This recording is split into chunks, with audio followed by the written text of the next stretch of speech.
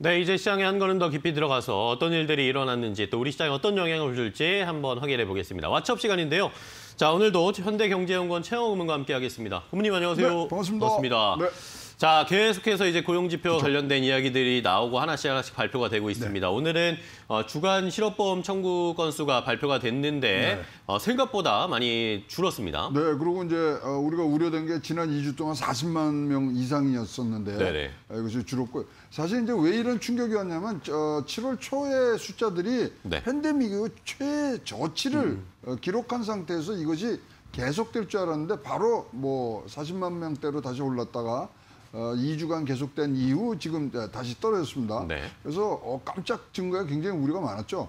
어, 특히 이제 델타 변이의 어, 음. 이뭐 확장성에 대해서 굉장히 걱정을 했는데 어, 이런 부분들이 이제 어, 내려오고 있고요. 어, 그다음에 지금 가장 걱정되는 것은 사실 네. 9월 초면은 연방 정부의 이제 추가 수당 지급이 전 51개 주에서 이제 종료가 되거든요. 되죠. 그렇다면 이것이 과연 좋은 어, 영향으로 갈 것이냐 음. 어, 이런 부분들에 이제 걱정이 됐는데 아까 어, 소개해 주신 2주 이상 계속 지속적으로 네네. 실업 수당 받는 것도 이제 드디어 처음으로 300만, 300만 건 명, 밑으로 네, 내려온 내려갔습니다. 상황. 지금 근데 예, 왜 8월 달에 이런 어, 신규 실업 어, 급여 이 예, 숫자가 중요하냐면요. 네. 이제 아까 말씀드렸는데 9월 달부터 연방 정부의 그런 어, 수당이 이제 종료가 되기 음. 때문에 지금 요것이 옮겨 타는 부분. 그러니까 미들맨이 어떻게 작용을 해주느냐 이게 굉장히 방향성에 중요한 역할을 했는데 음. 일단은 어, 뭐 많은 어, 전문가들의 의견을 보면 고용 증가는 가속화된다. 음.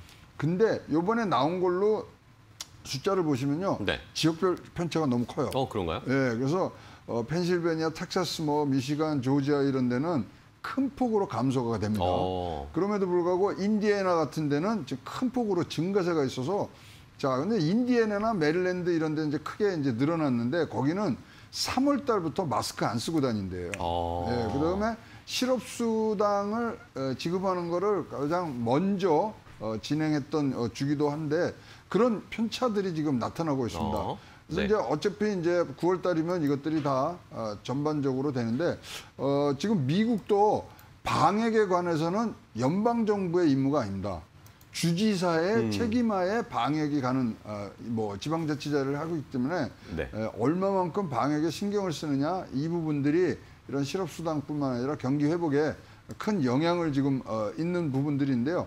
어, 결과적으로 보면 이제 고용을 유지하고 고용을 개선하는 데 대해서 지금 재정이 어마무시하게 들어갔잖아요. 그렇죠. 그럼에도 불구하고 이런 숫자들이 들쭉날쭉 하는 부분들은 어, 효과에 대해서 굉장히 지금 어, 재정 투입의 효율성에 대해서는 저조하다는 평가들을 지금 내리고 있기 때문에 어, 일단 뭐 지켜보겠습니다만 9월 달에 연방 정부의 에, 실업수당의 추가 실업수당이죠. 이것이 어, 만약에 중단이 되더라도 어, 앞에 재정의 그런 투입상에 있어서의 효과들이 적기 때문에 크게 영향은 안 미칠 것이다. 어, 이렇게 보고 있는데요. 어, 진짜로 아까 말씀하신 내일 나올 어, 고용 보고서는 이 뭐 전체 전반적인 흐름에 있어서의 가장 중요한 에, 방점을 찍는 그런 중요한 어, 지표가 될 것 같습니다. 네.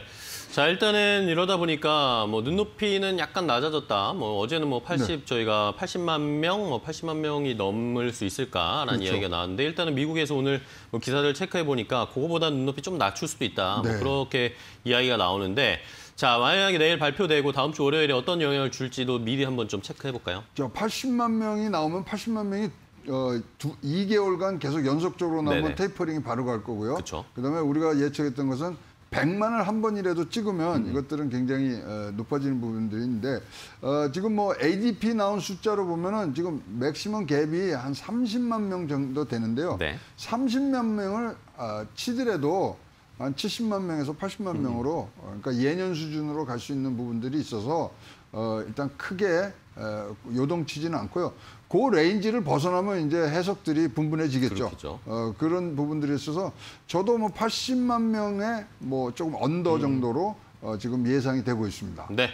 자, 이제 저희가 쉬는 이제 내일 오늘 밤에 아마 나오겠죠. 오늘 밤에 아마 고용 지표 7월 고용 지표가 나올 텐데 여기 어떻게 나올지 어, 일단 한번 예측을 해 주셨으니까 어, 이걸 확인해 보시고 다음 주에 다음 주 월요일 아침에 또 고모님과 어떤 영향을 줄지는 결과를 보고 또 한번 그렇죠. 판단을 해 보도록 하겠습니다.